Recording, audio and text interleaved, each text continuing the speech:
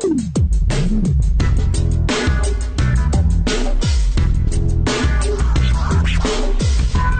uh, Brenard uh, and I run Momoka, which is my first outlet back here in India.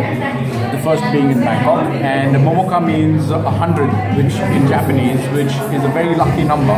Available with all the kissatens back in, in Kyoto and in Hachiko. So we just wanted to replicate the same thing back here in, in Goa.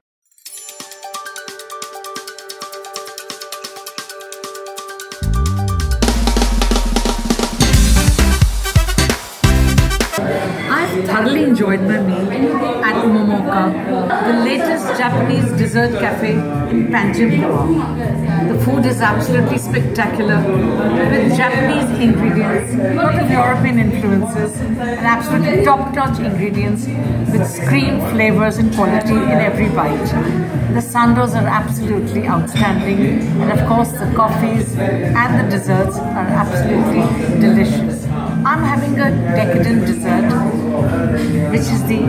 Honey toast, made of shokupon, the Japanese milk bread, lots of honey, ice cream, and it's so aesthetically presented that I can't wait to dig into it.